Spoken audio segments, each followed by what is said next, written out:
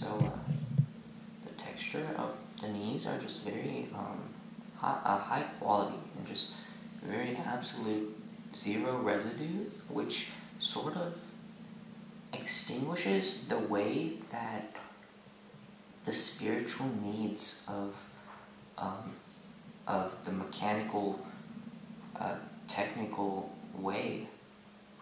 You know, I give it a rating of probably a simply a ten out of ten. Just beautiful, gorgeous. What am I saying?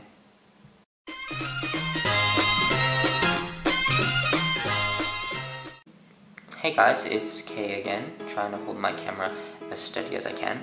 There's some things I want to tell you, some of my uh, some of my problems I'm going through in life, and uh, I'll, I'll tell you I'll tell you right now. I'll tell you all of them. So yesterday I was hungry, so I decided to make some ramen, some like uh, kind of like top ramen, but just a Japanese version. And so I opened the packet and I dumped the uh, the ramen, the little the hard pack of ramen into the into a bowl and there was no flavor on it or anything. I looked in the wrapper thingy and th there was no, there was no seasoning or anything. I was like, what the heck, please. So then I have to be like one of those like pro chefs, you know, and I was like adding all these spices I found in my kitchen, like lavender and rosemary and, wait, those are just flowers.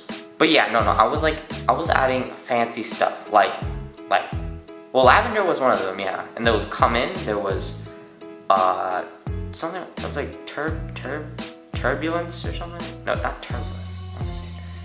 Um, it was like it was like termula or something like tur, tur tuberculosis or something like that. It sounded like tuberculosis, but it was it was you know I thought I thought it would go well with the ramen, so I put it in. And so I put all these ingredients in the ramen. I was like, I am the best chef in the world. And so I put in hot water and it started to get softer. I started mixing it up and stuff. But then um, I took a bite. I took a couple bites out of the ramen. But then I felt something plastic and I realized it was the seasoning. So what happened was when I dumped the ramen into the bowl, the seasoning packet was under the ramen, so I dumped in the packet with the ramen. So, so I was just, I was like, bruh. But yeah, that, that was a unfortunate moment for me. So there was this one time a couple months ago, I was on the train and it was after dance class, so it was like 10 o'clock at night on Mondays. I was pretty tired. So you guys drool, right, when you sleep sometimes?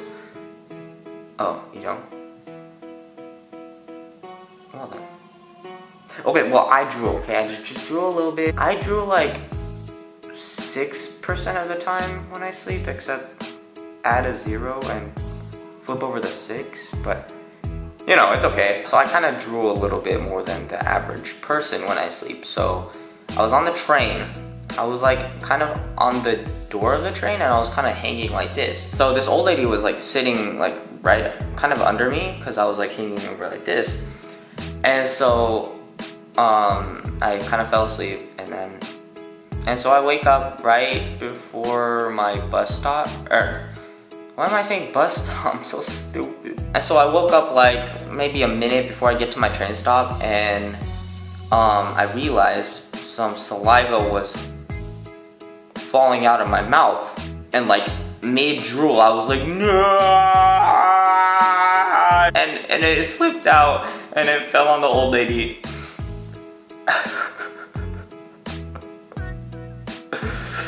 I felt really bad. I felt really bad. And so I just, she got so mad at me and she was just giving me like dirty looks and she was like, what, what did you do, do this, did you do this? Except in Japanese, of course. No, I had no idea what to do as well. I just like, I was like, oh, I pretended I spoke like Dominican. I was like, oh, homely, homely. That was probably the most rudest thing I've ever done, unintentionally. So for the past year and a half, um, on every Saturday, a tutor comes to my house. Um, he is a Japanese tutor and he mainly just teaches me math because I need some extra hours to my head. Because I need some extra help in math, so yeah, he helps me stuff. So he's a chill guy. We kind of talk about life problems and stuff. And so I was telling him about yesterday when I was just hanging out with my friends and uh, I told him we went to McDonald's and that I got a double quarter pounder.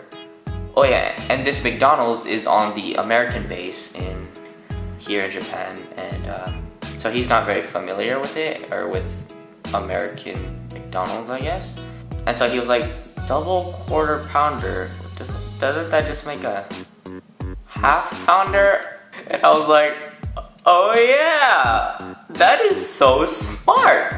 A double quarter pounder is a half pounder. Why don't they just call it that? Like, when I heard that, I was like, wow, that that's genius. That is genius. And double quarter pounder, that's a half pounder. Alright, so this is the final thing I want to say, but uh, I got a question for you females out there. When you first saw me, saw me in my videos, did you think I was attractive? But then like a week later, you're just like, oh, he's, he's I. Because a lot of times when girls like me throughout my life, they only like me for like just a couple days, like at most a week or two. Like that's it. And then and then they just stop liking me and I'm like, oh. So usually when a girl likes me, I'm like, okay, okay, I'm just gonna keep it low key for about two weeks and then see if you still like me. But guess what happens? They don't like me anymore.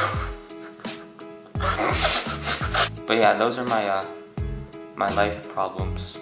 I hope you won't encounter these problems because some of them are pretty pretty bad. Especially drooling on an old lady. Like that's that's so bad. I feel, I feel so bad about it.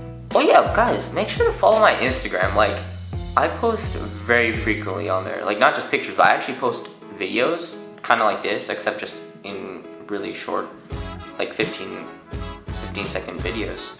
A lot of them are kind of like funny, just kind of little things like that. So yeah, if you want like some laughter every day or something like that, or want to see something cool every day, you know, you should, you should follow me. Just saying. So yeah, I'll see you guys next week. Have a nice day. Slam.